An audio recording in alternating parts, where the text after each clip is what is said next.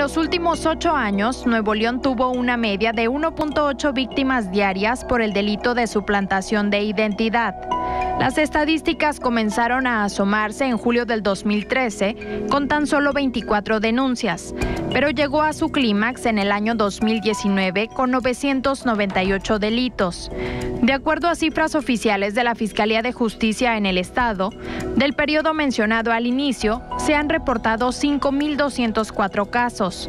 La situación se ha ido agravando desde entonces, a excepción de los dos últimos años, como se muestra a continuación.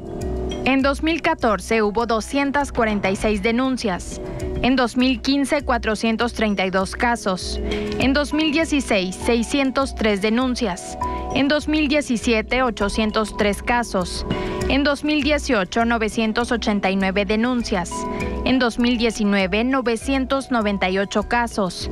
En 2020, 734 denuncias y en lo que va del 2021 van 375 casos. En lo que va del año, los meses con la incidencia que corresponde se mencionan en la siguiente tabla. En enero 51 denuncias, en febrero 64, en marzo 95, en abril 105 y en mayo 60.